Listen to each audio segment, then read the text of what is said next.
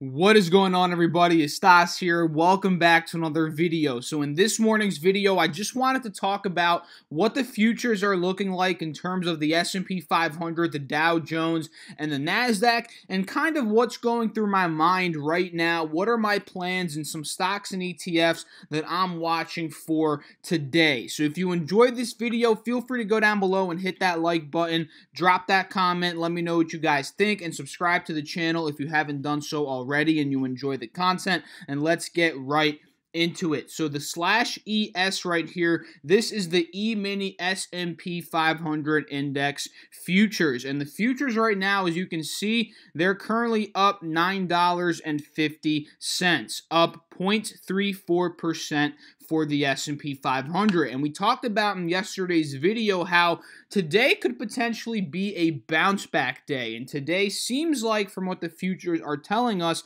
that it is going to be a bounce back day. And let me explain why I was saying that in yesterday's video and kind of see how that pattern is playing out as of right now. So let's hop over here to the 20-day 1-hour chart and let me explain what I what I was talking about pretty much in yesterday's video. So we notice how obviously the S&P 500, the ES right here, it's been making lower lows, lower highs, right? It's been on a downtrend over the past roughly month at this point, and we notice how every time that it's pushed to a low, it's rebounded for either a day or a couple of days in a row, right? Take a look here. The low followed by a rebound. The low followed by a rebound. And in this particular time period, in the middle of May, about two weeks ago, we had a low followed by a couple of days of rebounding, right? Every single time, literally, we've had a rebound. And what happened yesterday? Well, yesterday,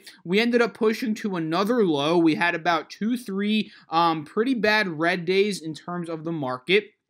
We pushed to 2766 in terms of the ES here, and that was a lower low from the previous. As you guys can see here on the 20 day, one hour chart, it is the low on this chart. And now we're starting to see that bounce back. So, you know, over the past 20 days, we noticed how both of the SMAs are resistance levels. So at this point, you know, with this $9.50 uh, uh, green future that I'm seeing here, I'm thinking either two things can happen, right? If we end up breaking this 50 SMA, we may be running up to the 180 SMA resistance here, and that could last over the span of two days, right? If we break that level, you know, I'm personally thinking we may be running up another 20, 30 points in the S&P 500, just simply because we've been getting slaughtered. You know, the RSI on the larger term charts, you know, it's very, very oversold, and it may be time for a bit of a run up. And if we're looking on the 184 hour,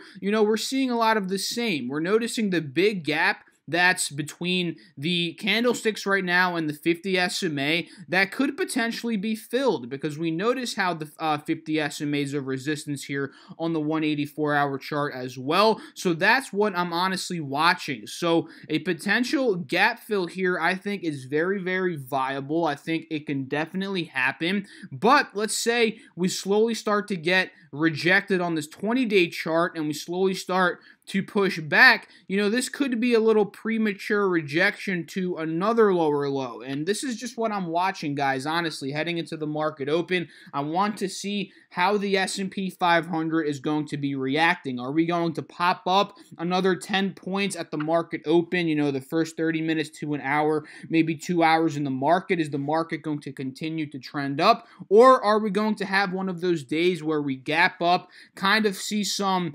weakness, some resistance resistance and then slowly start to fall and then start to push down again. But as of now, the futures are green, and we have a pretty good amount of room to run here up to that 50 SMA on the 184 hour chart. So, judging on the YM here, this is the mini Dow Jones Industrial uh, Future. This one's up about 0.17% right now, up 44 points. Not as up as the S&P, but it's still green nonetheless. And just like the S&P, we're noticing here on the 184 hour chart, the big big sell off to the lower low that we experienced experienced over the past couple of days and the consolidation and the attempt to fight and rebound back up to that 50 SMA resistance that we were at just a couple of days ago here for the Dow Jones. So the pattern's very similar, guys. You know, judging on this 20 day, uh, one hour chart, a lot of the same, right? Lower lows, lower highs. Every time, pretty much, we've pushed to a low, a lower low, we've rebounded. Take a look. Lower low, rebound, rebound, rebound, rebound for a couple of days here. We pushed down, rebounded for a couple of days. Now we push down aggressively. Is this the time period where we rebound for a couple of days? It very well could be, guys, and that is what I am watching. In particular, this 50 SMA on the 20 day, one hour chart. If we break that, you know, we may be heading up to that 180 SMA and we could be running potentially for the rest of this week. And also, again, on the 184 hour chart, you know there is a quite uh, quite a gap to fill here up to that 50 simple moving average. So NQ, the Nasdaq futures, they're up around the same percentage wise in terms of uh, the S&P 500 pretty similar there. It's up about almost 30 points right now up 0.4% seems like the Nasdaq is holding that 20 or 7200 rather level of support which was an old resistance from back in the beginning of March back in the uh, excuse me back in the beginning of November in 2018 as well. But the pattern is still descending here lower lows lower highs moving averages they're acting as resistance levels but we're noticing just like the dow and the s&p every time we've pushed to a low lower low we've rebounded. So keep an eye here lower low rebound lower low. Is this the potential rebound maybe back up to the 50 sma for us to fill the gap I think it is very, very possible. And judging on the 20 day, one hour chart, we are right at that level of the 50 SMA resistance. Just keep an eye on the potential breakout from there. If we break out of that, we may be running up to that 180 SMA or retesting the $7,300 level of resistance on, you know, on this 20 day, one hour chart. So, what am I watching today in terms of my personal watch list? Well, it's a lot of the same, guys. You know that I trade market ETFs when the markets are volatile and downtrending like this. I'm not really focusing on large cap stocks, maybe some put options here and there, but I mostly find uh, the most potential for me and my style of trading to trade these leveraged ETFs that trade on the markets, some that trade on crude oil, you know, gold, natural gas. These that I these are the ones that I talk about a lot on this channel. So, you know, the first one that I'm watching today is going to be TQQQ, right? This is a 3x leveraged ETF that goes up in price when the NASDAQ 100 is going up in price. So this is in the situation, the scenario, if, you know, the markets do end up running for today and tomorrow, TQQQ will have a lot of gas in the tank at that point, and it may run 4, 5, 6% over the next couple of days. So this is one in terms of, hey, if the markets go up, this can be a very good play. And if we're looking at how it's trending pre-market here, you guys can see, you know, it's trending up pre-market. You know, it's riding up uh, the 180 SMA's support. We're seeing the bullish cross 50 above the 180 in terms of the SMAs here. Everything is looking pretty solid. So if this continues, guys, the market push continues um, in the beginning of the day today, this is what I'm going to be hopping in for for a trade. But let's say we get that premature rejection like I was saying for the S&P, the Nasdaq, the Dow. Let's say we get some bad news. Let's say we just drop. Let's say we just start selling off again. SQQQ is the inverse to TQQQ, which is what I'm going to be trading, which goes up whenever the Nasdaq 100 is selling off at a 3x rate. So for those of you guys that don't know what that means, this is a leverage ETF. It's a 3x leverage ETF and it simply just moves three times the direction of the NASDAQ. So let's say the NASDAQ's down 1%, SQQQ will be up 3%, right? That's pretty much how it works. So that is what I'm watching.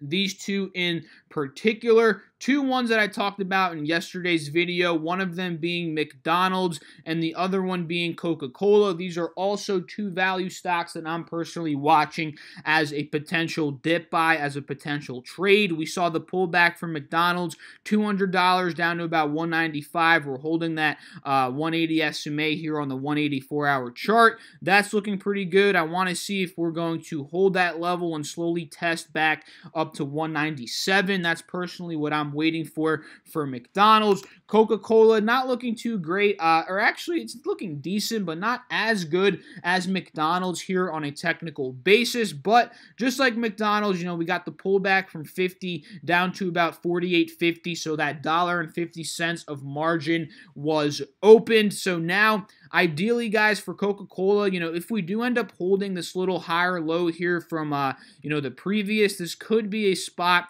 where we potentially test back up to the $49 level of resistance. But let's say we sell off even further. The point where I'm looking to see if Coke holds above is going to be this 180 SMA here, maybe at about $48. So if it does sell off another 75 cents, you know, this could be an even juicier entry price for Coca-Cola at about $48 for a potential swing trade. And looking at how it's performing right now, you know, it's up a bit pre-market hours, right? And you can notice that by this price right here, 48.72, it's up about 11 cents here pre-market hours. So let's just take a look at some large cap stocks very quickly. You know, you see Apple trending up here as the markets are recovering today.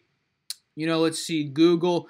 Google's most likely trending up as well. Yeah, it's trending up today. We're seeing gold making a push up into the 1280s. Kind of a big run on gold today. So I'm keeping an eye on JNUG, which goes up whenever gold goes up in price. We're seeing the nice little staircase pattern here, higher highs, higher lows forming on gold. This could be a potential recovery. Looking for a break out of 1290. That would be the continuation of the uptrend, especially if it hits a higher low at that point. JNUG could do very well in that situation. You know, let's take a look at LABD, LABU very quickly. These are two biotech ETFs that I personally trade. I'm assuming LABD's down right now. Yeah, that makes sense because the markets are up. You know, typically LABD, it follows the SPS IBI index. This index, when it sells off, you know, LABD is selling off as well because it follows the same trend. But when LABU uh, is going up, right, the inverse to LABD,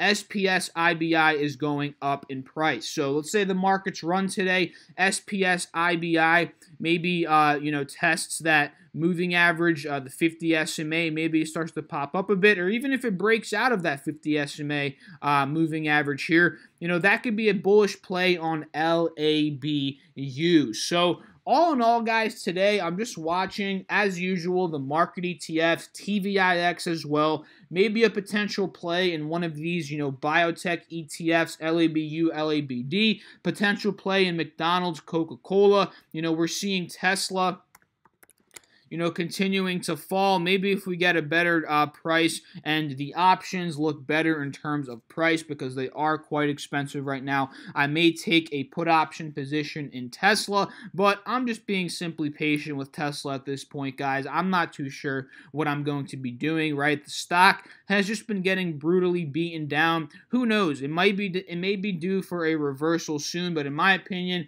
I don't think it's going to reverse unless they report some stellar earnings in the next earnings report. Let's say somehow Elon and Tesla end up blowing away the production numbers. Let's say they actually pull a profit or something. That, in my opinion, is what's needed at this point for Tesla to rebound because the markets, the analysts, you guys see CNBC, you guys see all of these different uh, news outlets, media outlets. They hate Tesla. Let's be honest. They're putting such a negative light on Tesla. The public is just has a negative light on Tesla. You know, Tesla keeps selling off. So that's why I'm saying we need an earnings report. We need a profit. Who knows if they're going to pull a profit this upcoming quarter? And we need to see some impressive numbers regarding sales, you know, Model 3 vehicles, and all of that jazz. So that's kind of it for this morning's video, guys. I hope you all enjoyed it. If you did, feel free to go down below and hit that like button. Again, it really supports me and supports the channel in general. If you're new to the channel and you enjoy this type of content, I upload this kind of stuff every single day. So feel free to subscribe to the channel and hit that notification bell so you're notified every single time that I do make a video. Also, let me know what you guys thought about all this stuff. Drop a comment. I'll catch you all in the next video. Good luck today. Market opens in about four minutes. Let's get it, guys. I hope you all kill it. I'll see you all later.